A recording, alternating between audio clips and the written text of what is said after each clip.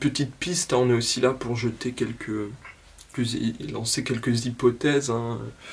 Euh, il me semble que le temps apparaît euh, quelque part avant l'espace, même si c'est tacite, enfin c'est implicite, c'est pas clairement, euh, clairement dit comme ça, mais même chez Kant par exemple, l'interne, le, sens le sens interne, ensuite sens externe. Il y aurait une sorte de primauté du temps sur l'espace. Le temps est la condition formelle a priori de tous les phénomènes en général.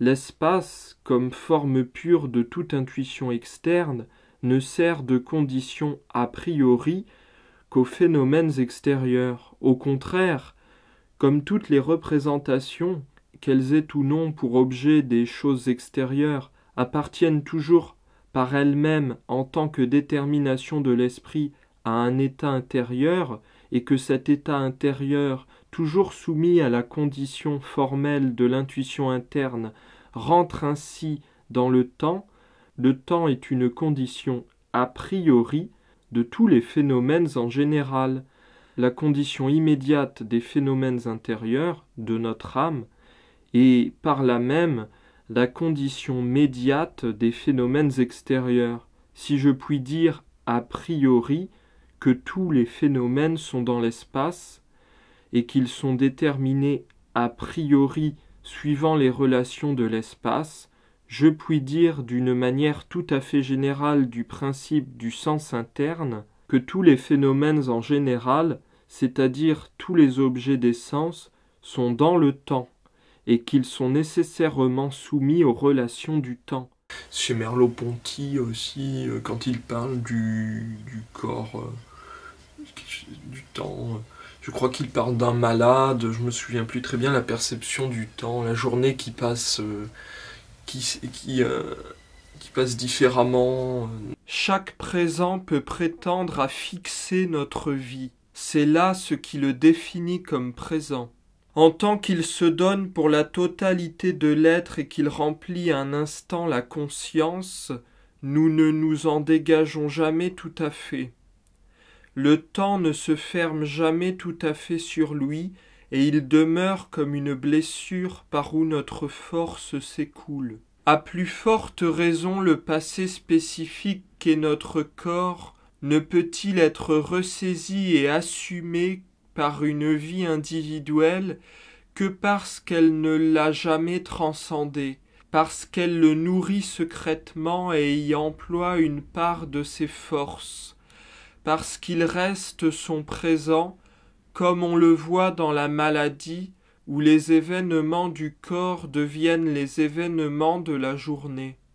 Ce qui nous permet de centrer notre existence est aussi ce qui nous empêche de la centrer absolument, et l'anonymat de notre corps est inséparablement liberté et servitude. Ainsi, pour nous résumer, l'ambiguïté de l'être au monde se traduit par celle du corps, et celle-ci se comprend par celle du temps. Il parle aussi des, de, ce, que ça, ce, que, ce que ça peut faire sur l'espace, hein, la maladie, euh, la perception de l'espace. Euh, voilà, euh, c'est retentissement, une intériorité et au, vécu, après le temps vécu dont parle Bergson.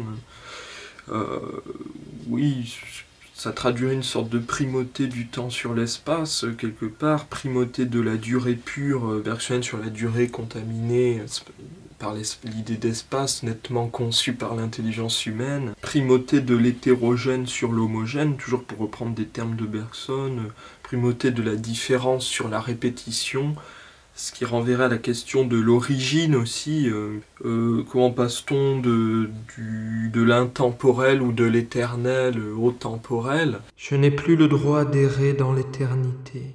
La terre est venue à moi. Je n'ai pas eu le choix. Je n'ai pas eu le choix. Terre Je vis et je mourrai. Alors que j'aurais pu continuer à errer.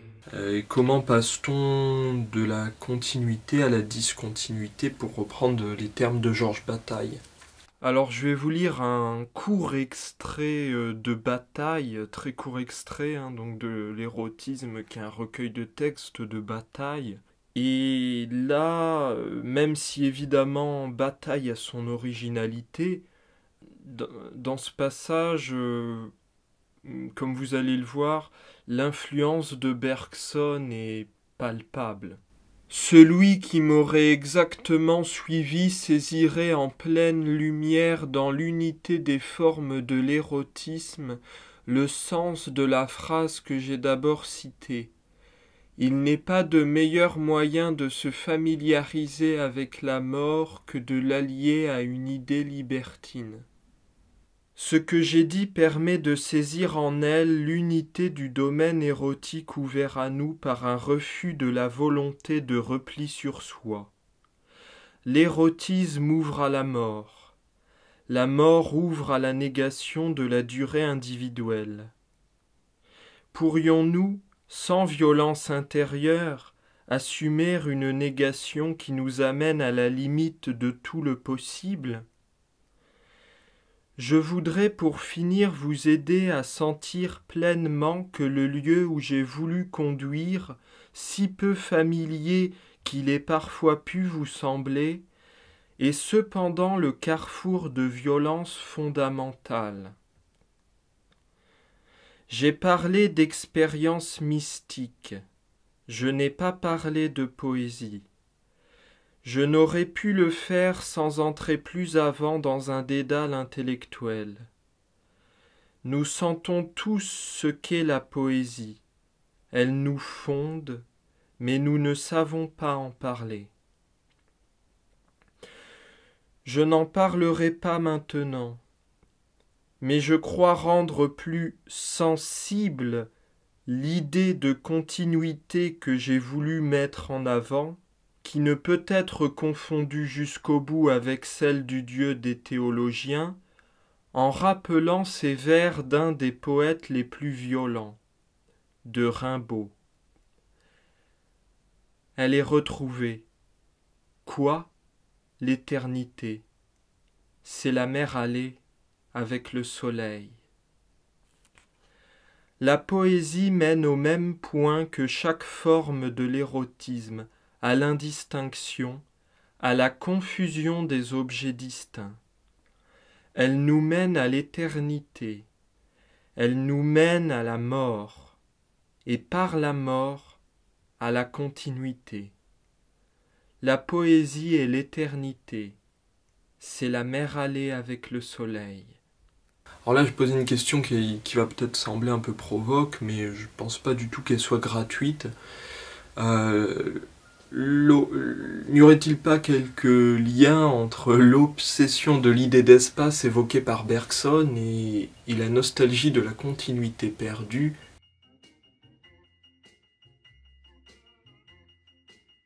Évoquée par Bataille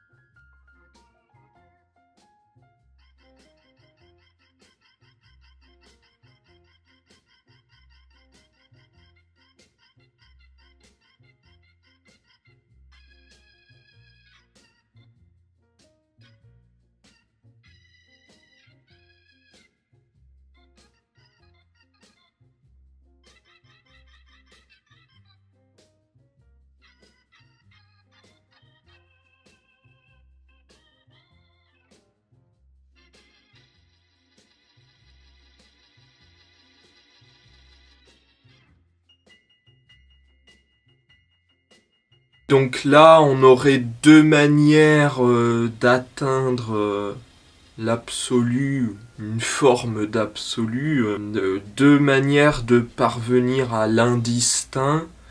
D'un côté, donc par l'effacement ou l'abolition de toute forme et par là même de toute séparation et de toute distinction.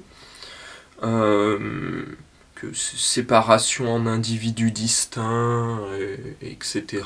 De l'autre, ce serait par euh, la, ce qui serait une forme pure, euh, sans distinction.